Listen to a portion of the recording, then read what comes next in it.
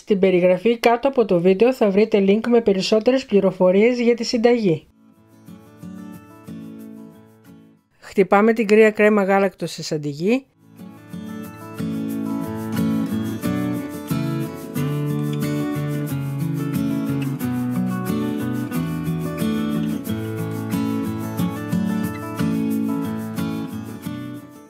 Αναμειγνύουμε την πραλίνα με το ζαχαρούχο.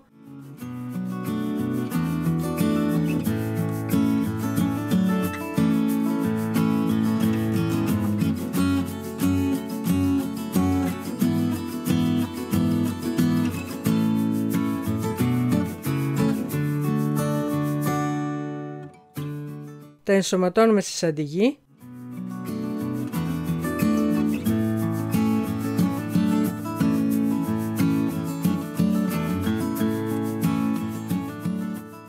Για να βλέπετε όλες τις συνταγές κάντε εγγραφή και πατήστε το καμπανάκι.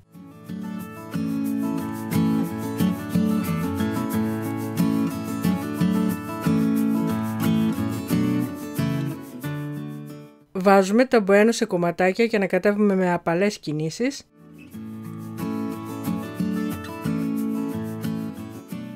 Τοποθετούμε το μείγμα σε φόρμα με μεμβράνη και αφήνουμε στην κατάψυξη για τουλάχιστον 12 ώρες.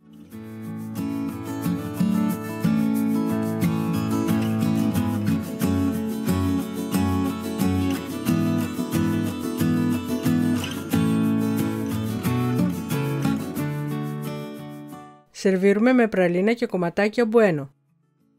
Αν σας άρεσε το βίντεο κάντε like και αφήστε το σχόλιο σας. Καλή επιτυχία!